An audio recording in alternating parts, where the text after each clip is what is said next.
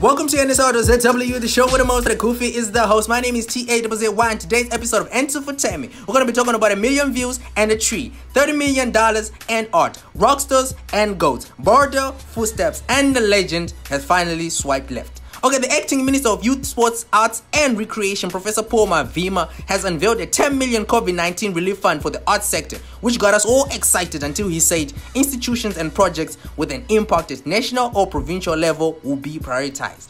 Hmm. which left a lot of people in the arts sector with more questions than answers. We had the likes of Plot Mhako left asking if it's RTGS or it's US dollars, only for the populace to conclude that, I'm a bond hapana mabonda hapana kana vanhu veati maiusa kunyepa kuti maite and the likes of Eddington Hatitongwe in the film industry puzzled on how you claim it. And if everyone is eligible one thing i've noticed hangu is that hazvisi zvemunhu wese hazvisi zvemunhu wese kana kawana so don't be getting your hopes up high Anyway, moving on. Mukudze. Yes, I call him Mukudze because we're like, you know, we're like boys like that. anyway, Jah Prayzah has just reached another million views, and this time it's for Munyaradzi. And what better way to celebrate this milestone?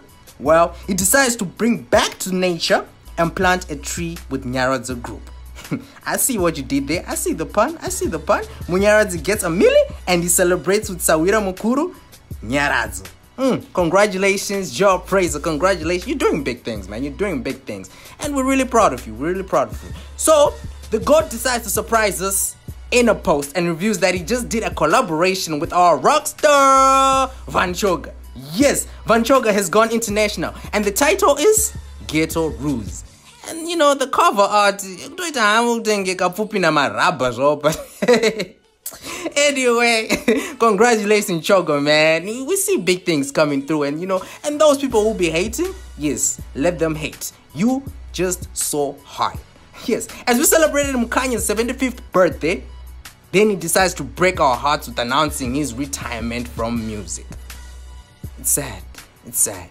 Thomas Mapfumo is a champion of anti-corruption and anti-oppression and a legend at that. I grew up listening to his music and I knew it was like a tradition that every Sunday my dad would whip out a, you know, a bright stand, handle young Shisanyama there, was listening to the self-exiled king of Chimurenga music.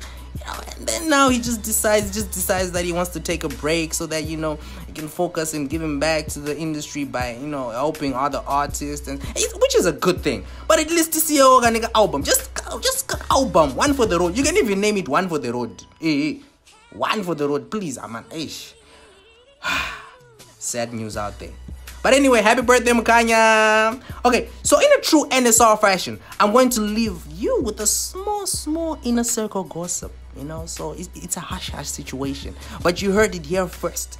Yes. Stacy Macheso mwana wa Alick Macheso just released the first single titled Ingozi. And you heard it here first.